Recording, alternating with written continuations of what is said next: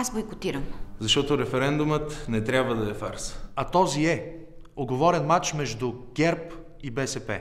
Предизборно стягане на редиците. Не искам да лъжа. Политика може да се прави и честно. Нови ядрени мощности ли? Кога ще бъдат построени? А къде? Кой ще плаща за тях? Колко ще струват? Не ни казаха. А очакват да участваме. Защо? За да се скрият Станишев и Борисов зад хората. Премиерът се страхува да реши. И парламента се страхува да реши. Не аз изхарчих 3 милиарда за един гьол. Моят глас има значение. И искам да бъде чут, а не проигран. Не играе чернотото. Не съм кукла на конци. Избирам информирано. Искам истинско гражданско участие. Бойкотирам този референдум. Бойкотирай и ти. И ти. И ти. Бойкотирай и ти.